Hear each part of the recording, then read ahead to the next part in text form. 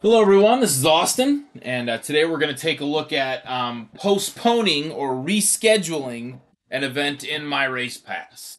Um, so it's really a two-step process. First, we want to uh, mark the first event as postponed, um, and then um, after that, we'll copy the event to a new date. So I'll start with season management, and I'll jump to events, and uh, we'll say that we're going to postpone this event on the 21st and uh, move it to a different date. So it starts on the 20, we're going to move it to the 24th instead.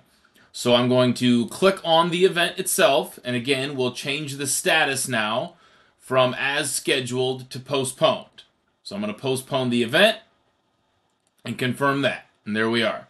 Now that the event is postponed, what I can do is I can come and I can copy the event to another date, and I think we said it was going to be the 24th. Um, it will copy the classes. You can rename the event um, as needed. Set your new times, all of those types of things, whatever you need to do and add. And now I've copied this event from one uh, date to another, basically. Um, so you know, night one has been postponed. Now the postponed night one is being run on the 24th.